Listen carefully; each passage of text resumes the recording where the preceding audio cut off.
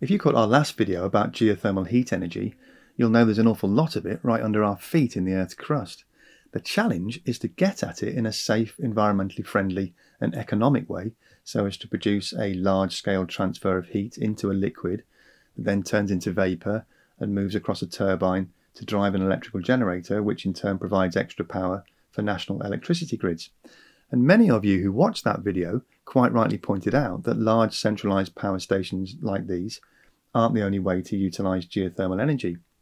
For over two decades now, systems have been in operation that allow individual homes and offices to produce their own micro generated energy from the very patch of land that surrounds the building. The system is called a geothermal heat pump, but you've probably more often heard it referred to as a ground source heat pump.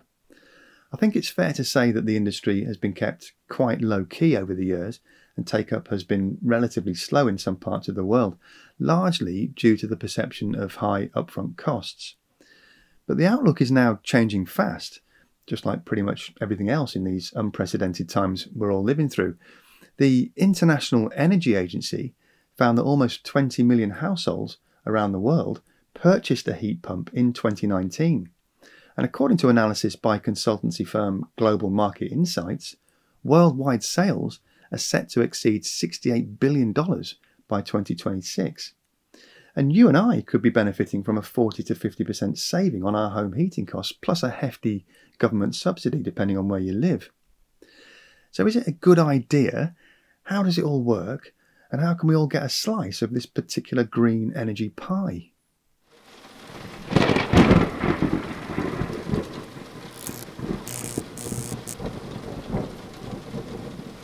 Hello, welcome to Just Have a Think. Energy use in buildings accounts for more than 17% of all global greenhouse gas emissions, and in somewhere like the United States, between 50 and 70% of all energy used in the home goes on heating and cooling. Different fossil fuels are used to heat and cool buildings in different parts of the world. Many countries rely heavily on gas, but oil fired heaters are also still in widespread use.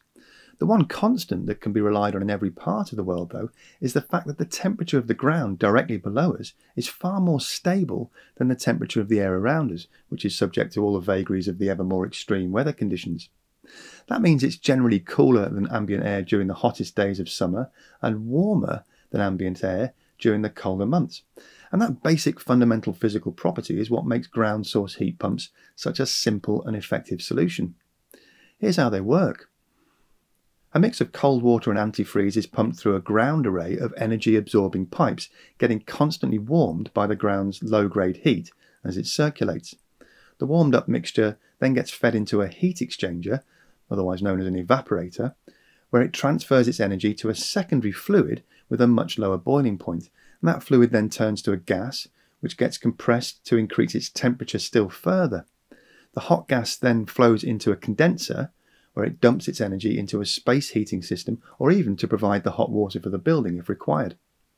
Once all that energy has been transferred out of the gas, it turns back into a liquid and goes through an expansion valve at the end of the cycle to reduce its pressure and temperature back to the starting point. It's a completely closed loop cycle, so the fluid just goes round and round, absorbing energy from below and dumping it where it's needed. Not all homes and buildings have huge expanses of space around them, of course. In those cases, rather than winding the energy absorbing pipes around in a horizontal array about a metre underground, they can be sunk about 100 metres vertically downwards, like this system being installed by a company called NGO out in California. For each kilowatt of energy consumed by the system, 4 kilowatts of heat energy are generated, effectively reducing the cost per kilowatt hour by 75%. In hotter countries that normally use air conditioners during the summertime, the stable ground temperature will actually be lower than the hot summer air, and that means the whole cycle can be reversed so that excess heat from the ambient air in the building can be transferred into the system and sent back through the cycle to be dumped into the ground via the pipe arrays, turning a heating system into a very efficient cooling system, saving between 20 and 40% on the electricity bill for a traditional air conditioner. In most cases, the ground source heat pump is combined with a more traditional water boiler to ensure there's no risk of the home lacking heat during extreme weather events. But even if that boiler is heated by fossil fuel, there is still a large reduction in CO2 emissions over the lifetime of the installation because the vast majority of the work is done by the heat pump at most times of the year. And better still, if the fossil fuel boiler is replaced with an electric boiler fed by a renewable energy tariff, then those CO2 emissions are even more drastically reduced, which of course is the main object of the exercise. Up in Sweden, where the northernmost regions are actually inside the Arctic Circle, geothermal heat pumps have become a standard alternative to district heating in many buildings, as the owners have found that installing and running their own setup is actually cheaper than paying the cost of the communal system. According to the Swedish Department of Geology, in 2016 there were more than 300,000 domestic geothermal heat pump systems in use across the country, most of them use that combination of the ground source heat pump and backup boiler running on grid electricity that I mentioned earlier. One of the early challenges of this setup was the demand on the grid during peak usage periods. You see, to optimise cost versus efficacy, the heat pumps were generally dimensioned to provide about half the power demand, which actually equates to about 90% of the energy use. But during very cold days, which are not uncommon in Sweden, these combination systems were using three to four times more power per degree as the heat pumps reached maximum power and the electric boilers were kicking in. And that was causing a very unwelcome spike in demand on the national grid. But new heat pump systems are now fitted with very smart inverter technology which can handle full power heating demand. And that simple addition has resulted in lower energy bills for the consumer, less marginal electricity demand, and greater available capacity on the grid for distribution to other energy users. All in all, a much more sustainable solution.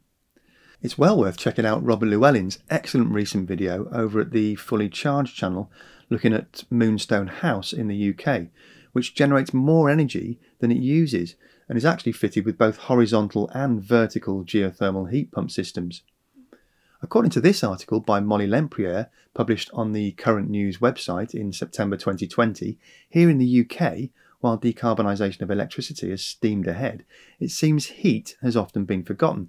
The sector generates about 37% of total UK carbon emissions when you add in industrial processes, so Lempriere argues that now is the time for action if the country is to hit its net zero target by 2050. But while the technology is now mature and well proven, governments have not been willing to provide the sorts of subsidies and grants that are really needed to kickstart the transition for most individual domestic consumers. The power of the fossil fuel lobby is still extremely strong, despite the economic kicking they've endured during the lockdown period. Globally, that industry still receives hundreds of billions of dollars in subsidies and tax breaks to keep their products looking competitive against established and now cheaper renewable alternatives like solar and wind and they exert great influence on lawmakers to keep renewable incentives to a minimum. Despite that, there was a glimmer of hope in August 2020 when the UK Chancellor Rishi Sunak announced the introduction of the Green Home Grant, a £2 billion fund to drive home improvements. Amongst other technologies, this includes heat pumps, with the government covering up to two thirds of the cost for 600,000 households. The Green Homes Grant is an upfront payment, but it's capped at £5,000 which doesn't go a very long way towards the cost of a well installed ground source heat pump system. There's also a parallel UK scheme called the Domestic Renewables Heat Incentive. The RHI is designed to help those who install eligible technologies claim back the majority of the cost of the installation over a seven year period. But if you claim both incentives, the domestic renewable heat incentive is reduced by the amount of the Green Home Grant to prevent what the government calls double funding.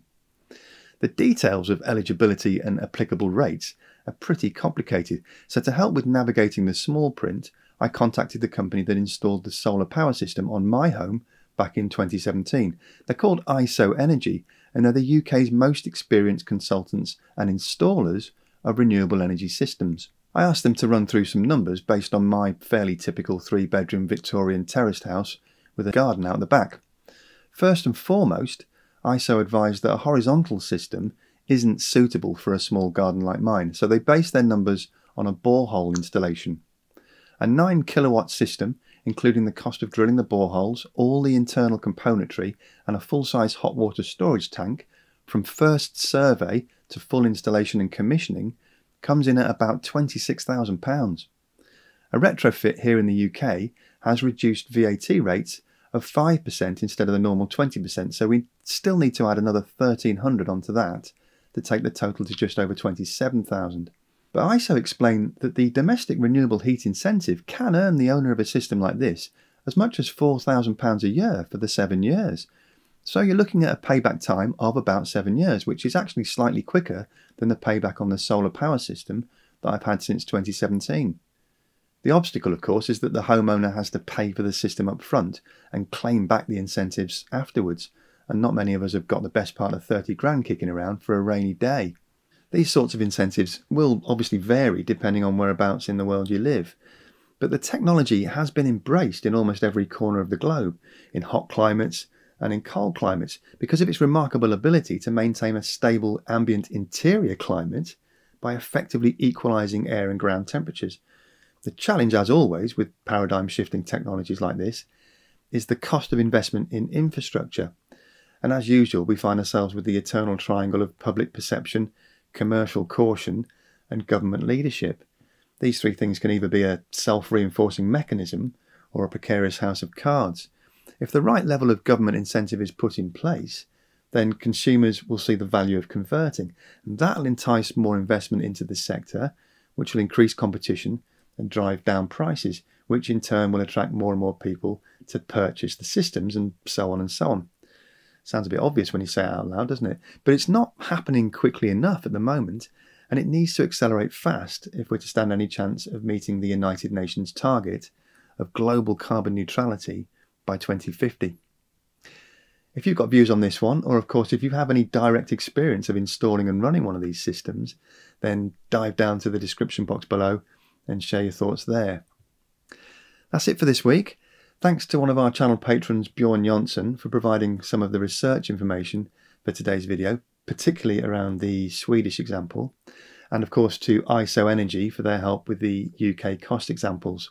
Do have a quick look at the website and the app if you haven't already done so. And I must just give a shout out to some new supporters of the channel who've joined our Patreon page since last time with pledges of $10 or more a month. They are Robert Knowles, Paul Raggett, Kate Evans, Mike Franklin, Michael Delarata, Daryl McKinnon, Tony Dobson, Andreas Down, Mitch Rundle, Gordon Johnson, Michael Baker, and Eric Kruger. And of course, big thank you to everyone else who's joined since last time too. You can support the channel at our Patreon page, where you can also exchange contacts and ideas with other patrons, get exclusive monthly news updates, and have your say in content by taking part in monthly polls. You can find all of that at www.patreon.com forward slash just have a think. And of course, you can hugely support the channel absolutely for free by subscribing and hitting that like button. And if you want to keep up to date with the latest videos, then make sure you hit the little bell icon too. Dead easy to subscribe, you just need to click down there somewhere or on that icon there. As always, thanks very much for watching. Have a great week and remember, to just have a think. See you next week.